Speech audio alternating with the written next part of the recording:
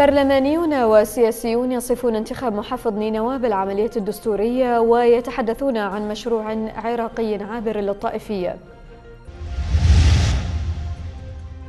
حملة رمضان التي أطلقها الدكتور أحمد عبد الله عبد تصل إلى بلد بعد أمرلي ومأدبة رمضان سيتقاسمها أهالي صلاح الدين.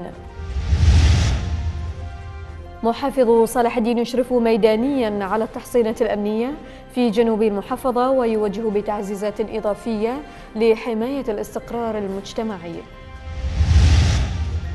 ومجلس الوزراء يوجه بحسم ملف المفقودين بالمناطق المحررة ومخاوف من امتداد شرارة المظاهرات إلى محافظات الوسط والجنوب.